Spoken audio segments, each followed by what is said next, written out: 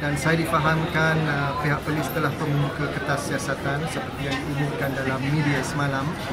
Uh, tetapi uh, bagi persepsi umum uh, ini satu tindakan yang biadab dan uh, tidak bersopan.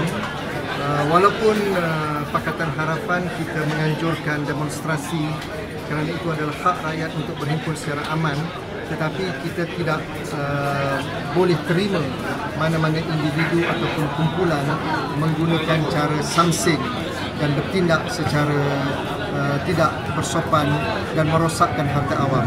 Dan saya percaya pihak polis akan meneliti kes ini dan mengambil tindakan yang sesuai. Tahun-tahun yang lalu, kerajaan negeri bertindak secara progresif dan kita memberikan kelulusan uh, di atas permohonan Uh, dengan syarat-syarat yang telah ditetapkan.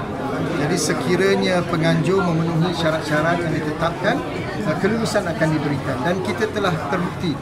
Pada tahun lalu kita telah memberi kelulusan. Pada tahun-tahun sebelumnya pun kelulusan telah diberikan.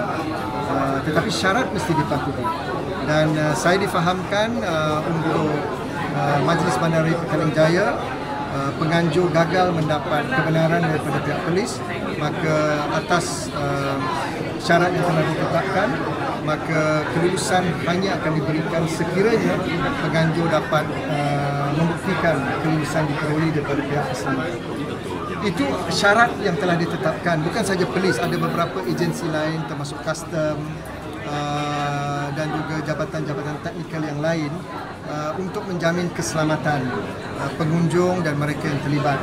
Dan uh, sebenarnya apabila mereka menganjurkan, memang uh, syarat-syarat yang ketat, ya, tidak boleh melibatkan uh, orang Islam dan itu memang dipatuhi. Dan saya lihat uh, majlis seperti ini memang berjalan dengan baik pada tahun-tahun yang